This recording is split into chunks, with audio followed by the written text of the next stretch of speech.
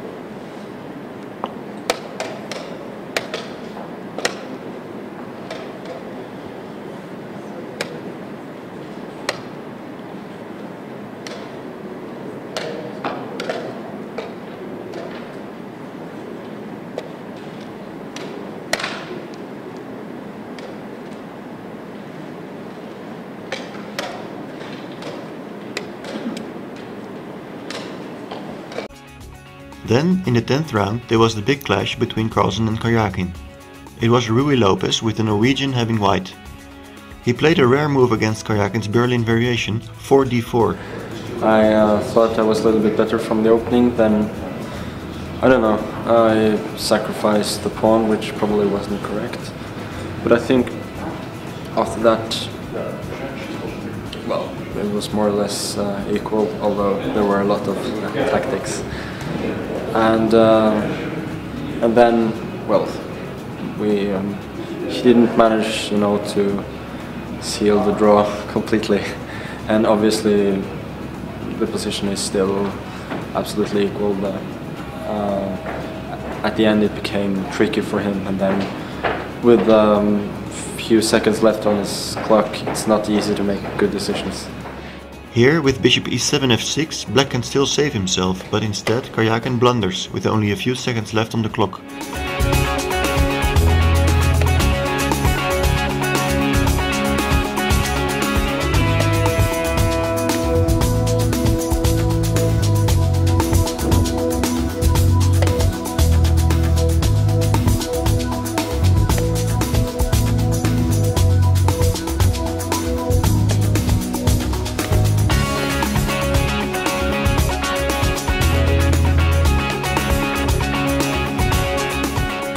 Veselin So winning all, almost all the games. I'm fairly satisfied with the play and even more satisfied with the result. Well, in the last game of the day, I played against uh, Sergey Karjakin from Russia. He um, he had been leading, shared with me or for himself for uh, most of the tournament, so it was an important game. And uh, it was an interesting game with uh, lots of uh, complications. Uh, but at the end, uh, the material was almost exhausted from the board. Uh, but uh, I still had some initiative, and uh, uh, eventually I managed to um, to make this position collapse in, in, in, in time trouble. Well, I think it came basically at the end because uh, before it it was the position was a draw, and then for the last four or five moves, uh, it became difficult for him, and then he made a blunder and, and lost the game. It, ha- it has to be said that he was very very short of time. Um, with uh, he was living on the 10 seconds increment with nothing more.